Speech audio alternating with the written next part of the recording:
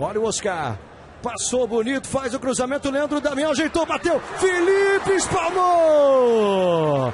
Olha, foram pelo menos duas grandes chances do Leandro Damião nesse segundo tempo, hein? Defesa espetacular do Felipe, hein? A queima-roupa o chute do Leandro Damião. Você viu a vibração do Felipe, né? E depois. É, depois pediu o pênalti ali. O, o Ferro caiu, ficou caído. Leandro Damião, ele tem uma facilidade para ajeitar e finalizar impressionante, né?